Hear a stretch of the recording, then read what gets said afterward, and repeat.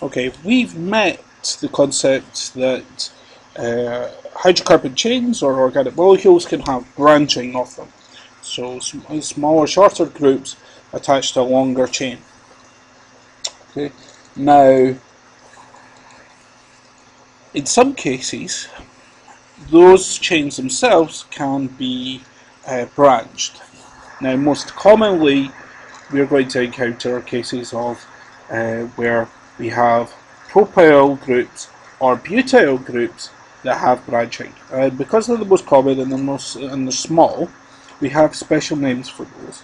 I'm going to spend a little bit of time in this video going through how we name these. Okay, so the simplest example, to uh, simplest case to take is uh, this one here, where we're looking at propyl, and we'll look at butyl in a moment.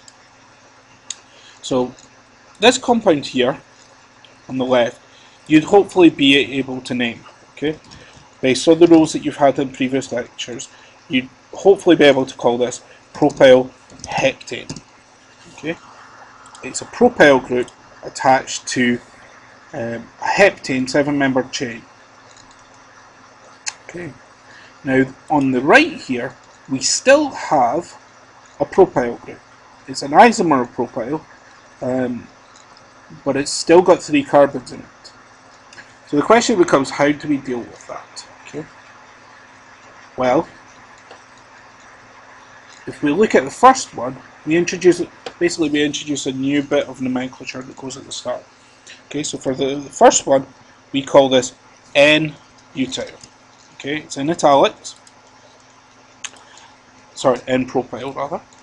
And this means that it's normal. Okay, it's a straight chain. Okay. On the other hand, on the right hand side one, we call this isopropyl. Okay, so this is isopropyl heptane in this case. Okay. And we could also talk about this being as I italics propyl heptane. Okay. Now iso comes from it comes from the Greek meaning equal. So if you if you were to think about this chain here, okay, um, we've come up this branch and then we've split this equally. Okay, that's where the iso comes from. This is equally split. Okay, we'll see that again in a second.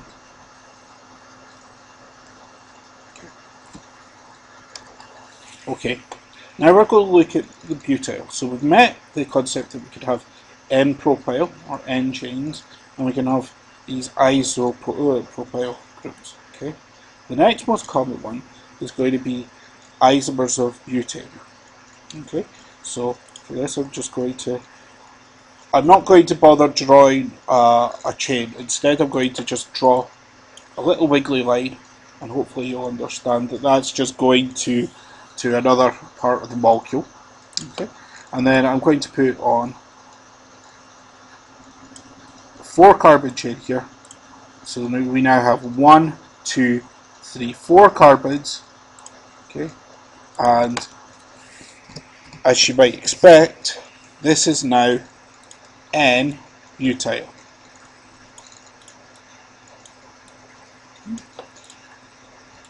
I'm going to colour this as well. Okay, so we have an N-butyl chain. Okay, now the next thing that we could do is we could do exactly as we as we did um, with the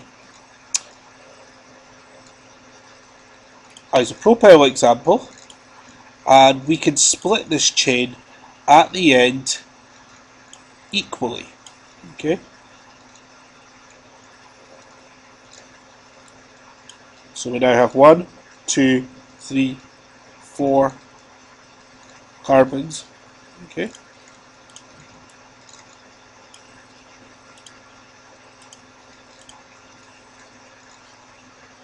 and we now have isobutyl.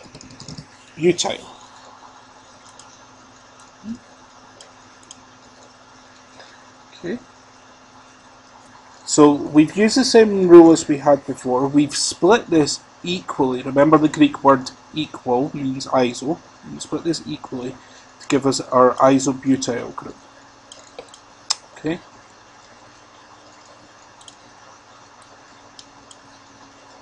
What if this, this branching isn't on this carbon but on this carbon now? Let's have a look at that example.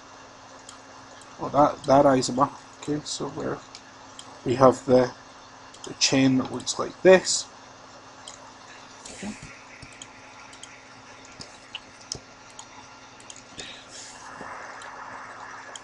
Okay, again, it's a four carbon chain. One, two, three, four. Okay, this now makes what's called a secondary carbon atom. Okay, um, we'll cover that in, in more depth when we talk about functional uh, functional groups later on. But a secondary carbon atom basically has um, three things attached to it that are not hydrogen. Okay. So this has um, methyl group and this this propyl this sorry ethyl group attached to it. So this is what we call sec butyl. Okay. Right. And finally, and the one that is perhaps most common to, to encounter is when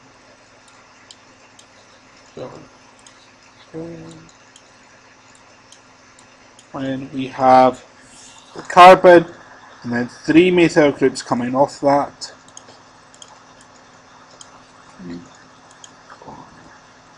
Red okay so they're all the same. And this is called tert or tertiary butyl, okay, or tert butyl, or simply T butyl.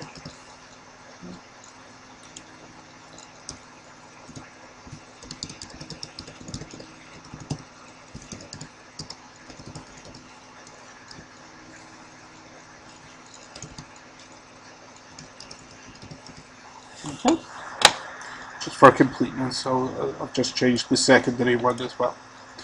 Okay, so those are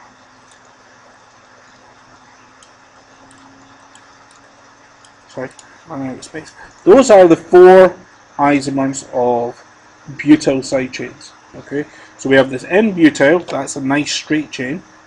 We have the isobutyl, that's split equally at the end. Okay, remember the Greek word iso.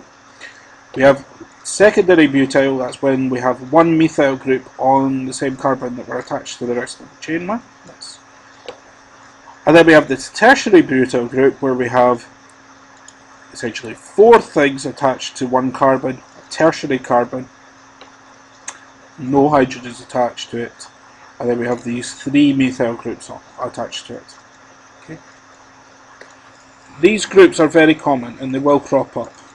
Okay so um, they are worth worth learning. Okay, so we've had N-propyl, isopropyl, N-butyl, isobutyl, sec-butyl, and tert-butyl. Okay.